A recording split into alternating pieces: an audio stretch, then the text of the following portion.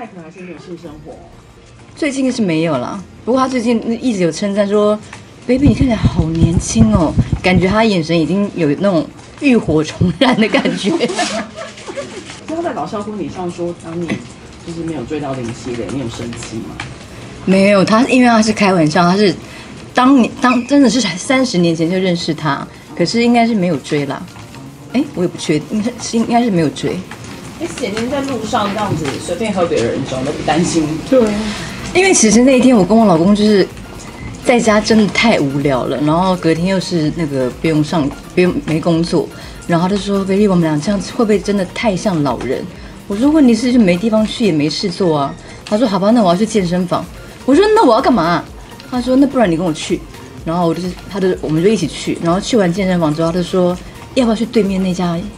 那个 lunch bar 好像还蛮好玩的，然后我们就去里面，本来想要喝一杯就走，然后他就约了朋友，就来了一大堆人，然后他们就说再去另外一家那个也是很红的什么夜店，然后又又去另外一家，然后就开始喝到有点开心，然后但是就差不多要回家了，然后回家之后就经过一条街，就满满的两排人都是年轻人，我想说他们到底在干嘛？我实在太好奇，我就把窗户摇下来，然后就说，哎，先生先生，你可是过来一下。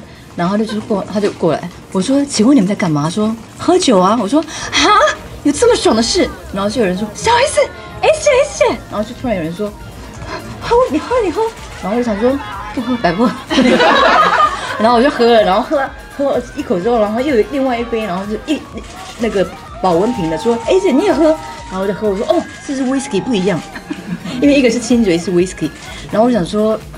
我现在好像做了错误的示范，因为我女儿那个去美国之前，我就一直跟她讲说，不准喝陌生人的酒，就算是一瓶的饮料都不行。他们可以用针孔注射一些什么东西进去，绝对不准拿陌生人的东西。然后影片播出之后，我想我女儿应该觉得这是什么妈妈？那还是要提醒。不过我在在临走之前，我还是跟现场那些少女们说。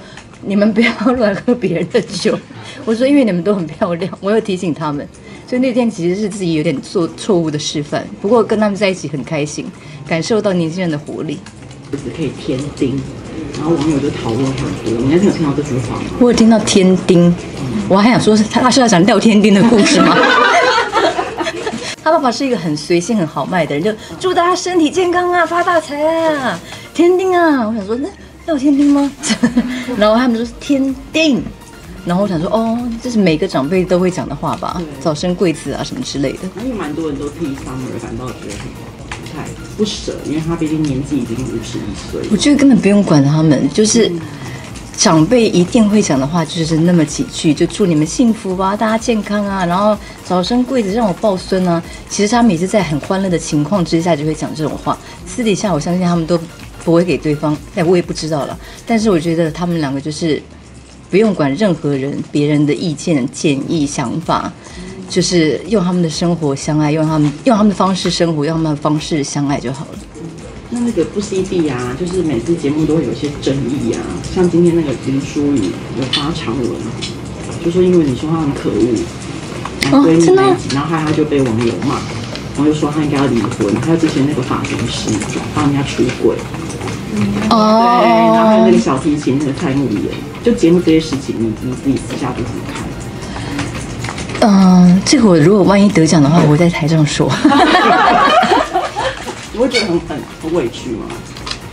不会委屈耶，我觉得如果上上节目上我们节目，然后因为我的话或什么，然后造成那个网友把他当真，然后去攻击的话，他他他的话，我也觉得我自己也会觉得很替他心疼，跟觉得。怎么会？就是网友为什么要当真？就是已经看我看了三十年，难道还不知道我讲的都是开玩笑的话吗？所以就是希望大家看我们节目，就是 relax，不要那么认真。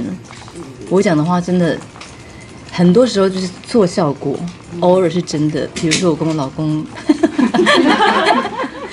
所以如果舒雨真的不开心的话，真的希望大家不要再这样子。舒雨是一个我很喜欢的来宾，很可爱，很愿意分享。